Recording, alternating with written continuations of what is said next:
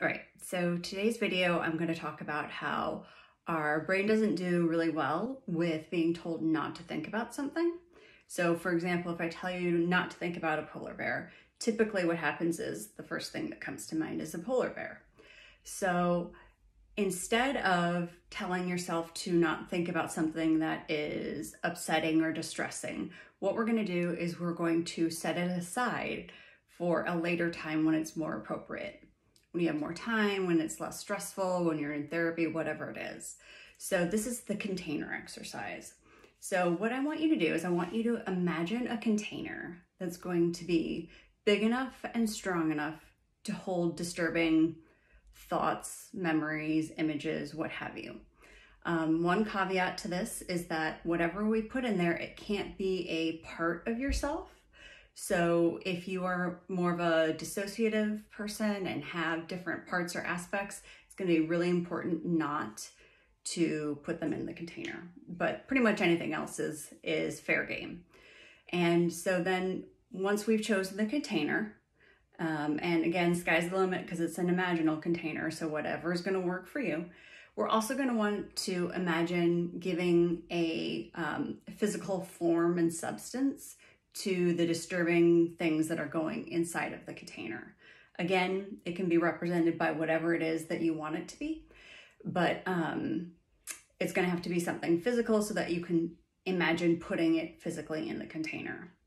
So I'm going to walk you through the exercise just really briefly right now. I want you to think about something that was mildly disturbing or upsetting to you that happened in the last day or two. And so I want you to close your eyes and I want you to bring up an image of that container. And then I want you to turn that disturbing thought, feeling, or memory into a physical form of some sort.